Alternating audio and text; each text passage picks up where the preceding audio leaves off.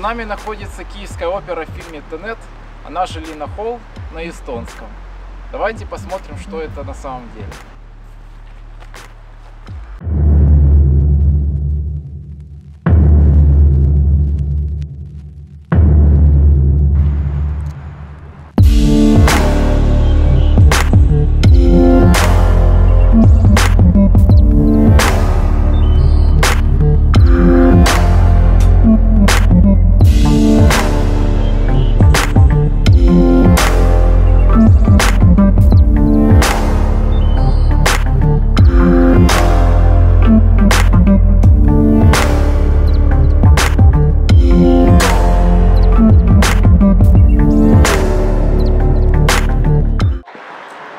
Короче, в целом обошли всю эту территорию. Туда попасть внутрь нельзя, все заколочено, заброшено.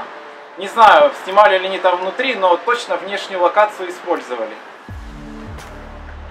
Вообще, внешне очень напоминает седьмой корпус КПИ, только если бы он стоял на берегу моря и был немножко заброшен. Это вот что ждет седьмой корпус КПИ, если туда никто не будет ходить.